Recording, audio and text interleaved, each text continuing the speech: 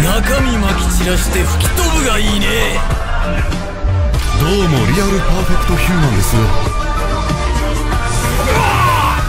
どうやら完全無欠の人間じゃなかったようだ。ななめんなよ若造がてめえも今すぐ刀の錆だ。俺は幸せの身やお前とやって俺はさらに強くなるからな。うちのトガリから話は聞いてんだもう死ぬしかあらへんいな条件が一緒なら俺に勝てるわけないでしょうが。